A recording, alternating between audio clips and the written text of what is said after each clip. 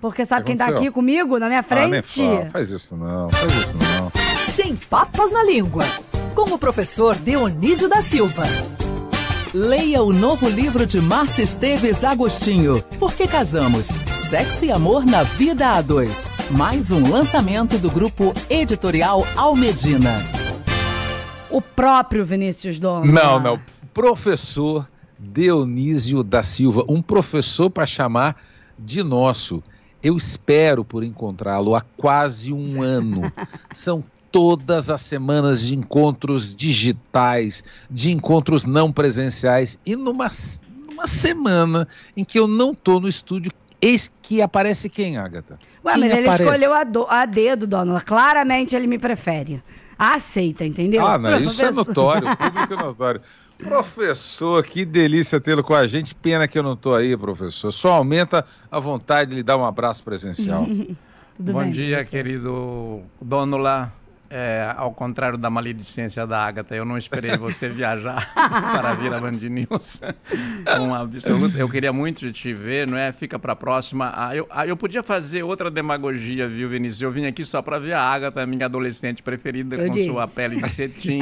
Tô aqui olhando, aqui, frente a frente, olho no olho. Quer dizer, óculos no óculos, né? e sabe quem me trouxe aqui, o 20 da Band News? O Tiago e me deixou aqui e disse, professor, agora vou ouvi-lo aqui, nossa, agora já vi, não, a gente não tinha se visto, vamos em frente.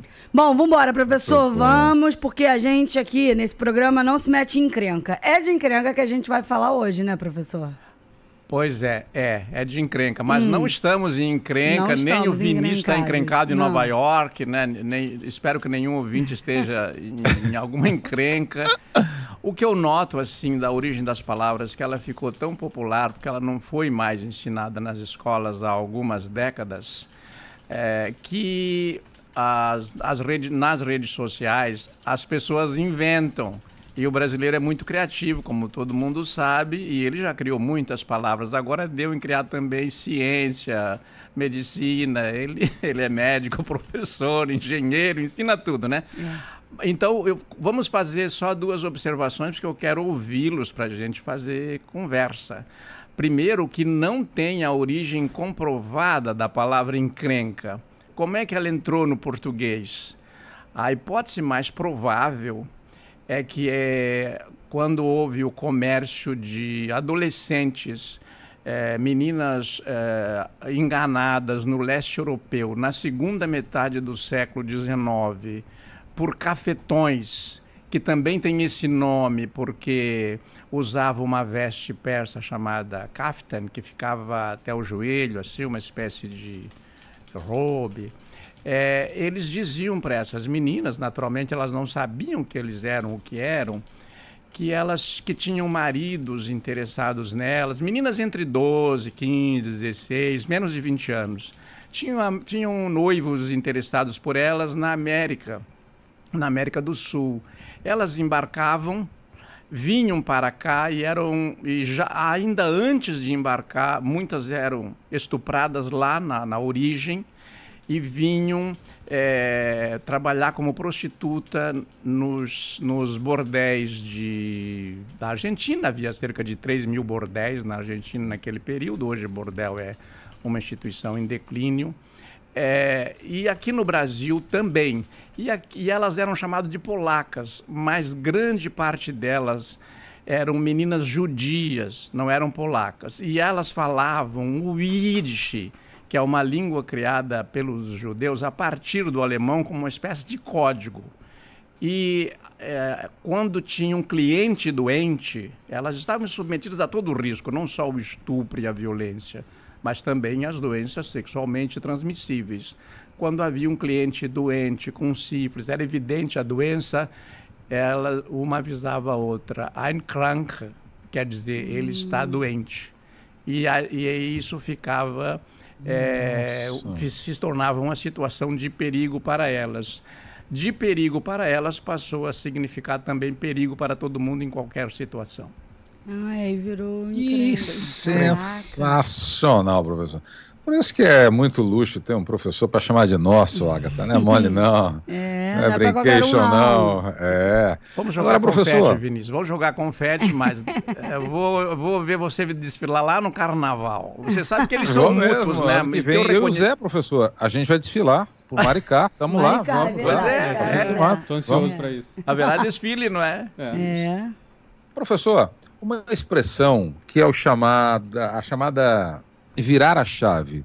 O virar a chave seria associado a que história? Como que a gente pode explicar de onde vem essa expressão? Ó, vira essa chave, eu virei a chave, eu passei uma borracha nisso. Uh, o que, que significa? De onde vem essa expressão, professor? O virar a chave? Olha, o virar a chave realmente, Vinícius, está na ordem do dia, até ministros estão dizendo isso. Outro dia, um, um colunista, que é o presidente da Academia Brasileira de Letras, o Merval Pereira, deu título a uma coluna dele, Virar a Chave, precisamos virar a chave, que é mudar a situação. Virar a chave vem da, da, da vida cotidiana de você encerrar um assunto, bloquear alguma coisa, disso não vamos falar mais, isso não vamos fazer mais, agora vamos fazer outra coisa. Quer dizer, tem, tem várias situações na vida política, social e na vida de cada um, todos os dias, em que é preciso virar a chave. Ou então, como diria a Agatha, nossa adolescente, minha informante linguística, viu, uhum. Vinícius? que ela, a Agatha é muito intuitiva, não é? Na questão das palavras. Deu. Deu. Né? É, acabou, deu. deu. Lá no Foi. sul é deu para ti, terminou. Agora é virar a chave num sentido que envolve mais gente. Então vira a chave, fecha a porta, não entra mais ninguém, ou então saímos e não entramos é, mais. Tem uns assuntos que a gente tem que estar até duas voltas na chave, né, professor? Para encerrar de vez, entendeu? Virar completamente e dificultar a entrada do ladrão, porque eu faço isso. Quando eu viro a chave, literalmente, Logo eu dou duas. duas voltas. Aí a minha mãe até fala, Margata, mas vai de quê? Dificultar o ladrão? Duas voltas? Ué, gente, na minha cabeça vai. Na prática não vai, né? Na prática não vai. Agora. É, eu acho assim, ó, acho não, né? É o que acontece nos fenômenos da, da, da, criação das palavras, na consolidação, porque a língua tem que ser estável. Quando você pega a palavra encrenca e pega essa origem não comprovada, porque não tem uma documentação segura para dizer que começou assim entre os bordéis, sim, sim. mesmo porque teria que alguém pesquisar lá nos bordéis ou nos registros e as atividades clandestinas, você sabe, os registros são difíceis. Mas, por exemplo, você tinha eh, no, no, no alto alemão Sklink, que é, é, que é o esquerdo, depois que é o manco, depois que é o prejudicado, depois é aquele que está inclinado. Tem, tinha o incréu da Inquisição, que ficava numa encrenca porque tinha que é, dizer que, é, que, que adorava coisas que ele não adorava. Então, quando você diz, olha, virar a chave, dar duas voltas na chave, será que daqui a pouco também não vai ficar, ó, dê duas voltas na chave, vira uma expressão? E agora, para concluir de vez da minha parte, eu estou aqui para o que der e vier, né?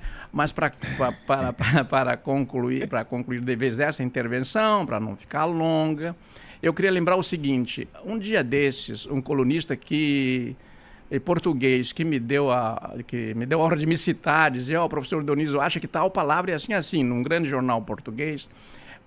Antes de ontem, ele diria, ele dizia o seguinte: o português de Portugal está ficando uma língua confinada, porque o português do Brasil não tem preconceito de nenhum tipo e adotou palavras que, que em Portugal, Portugal não incorpora e insiste com aquela língua reduzida em número de vocábulos que ficou o português de Portugal. O Brasil, a língua portuguesa no Brasil, Ágata e Vinícius, e ouvintes, sobretudo os ouvintes, está com cerca de 800 mil a 1 milhão de vocábulos. E nenhum dicionário registra mais do que 300 mil. Então tem 70% circulando que um dia vai para o dicionário. Então, imagina, professor, se já é difícil escrever hoje em dia, imagina com mais tanto assim. Pois é, mas daí tem que mudar esse, esse acordo ortográfico, na, na minha opinião. Ele devia atender de onde a palavra veio, que é Sim porque a língua é estável. Mas tem que parar com essa dificuldade de SSS com Z. É, é. Feliz é com Z, mas zebra é com Z também.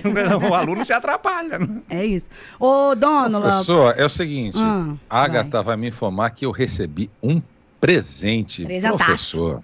Meu Deus do céu. Tem nem roupa para isso. Não tem mesmo, dono. Nossa, professor. Olha aqui, ó. De onde vem as já palavras? Tem programação professor, ler. uma honra. É. Muito ia, obrigado, professor. Ô, Vinícius, eu ia Muito te obrigado. condecorar ó, hoje. Tá vendo? Aí, Olha hoje era o batismo. aqui. Olha Vou que beleza. pra gra- Ah, Ajudar, tá, não, se Ah, professor. fofo. Minha gravata borboleta amarela. professor, semana que vem, usar-la-ei, aqui usando a mesóclise em sua homenagem, usar-la-ei ao vivo durante a sua coluna. Pode ser, professor? Oba! Você me homenageia muito mais dizendo vou usar, porque eu acho que usar aí só português está usando e o Michel Temer, ex-presidente ninguém- da República, né, Vinícius? Bom, eu vou usar, professor. Então eu uso com o maior carinho, com maior amor no dono, coração. deixa eu aproveitar que o nosso professor tá aqui pra gente fazer, né, aquela propaganda, ó, de, de onde vêm as palavras. Esse livro maravilhoso. Eu tenho em casa também, Dônula. Tenho Orra, meu. Não é com pé na frente. Que fala, inclusive, do que a gente estava tratando agora há pouco, né, professor? Que é a língua muito falada, os brasileiros falam muito bem, mas escrevem muito mal. Então, ó, tudo isso tem no, na Almedina, tá, gente? E História da letra N, de onde vêm as palavrinhas. Além da Almedina, você encontra também em qualquer livraria. Professor Dionísio da Silva, foi uma honra, é sempre uma honra. Mais ainda quando o senhor pode dar a graça presencialmente. Obrigada pela visita hoje, tá bom? Muito obrigado, Agatha. Um beijo para ti, um grande Obrigado, abraço ao professor. Vinícius. Vinícius, eu hoje, eu hoje eu vou beijar de verdade a Agatha aqui nas suas bochechas rosadas e não Aham. posso te condecorar com a gravatinha, que eu tinha essa intenção, mas eu deixo aqui para a Agatha fazer isso. E nós temos o José Paulo aqui, que eu acabei de conhecer, o José Paulo. É. E quero dar um abraço para ele também e recomendar aos ouvintes, procurem os livros, não apenas os meus, qualquer um, na Amazon, na, na Almedina, onde você quiser, porque o Brasil lê muito pouco.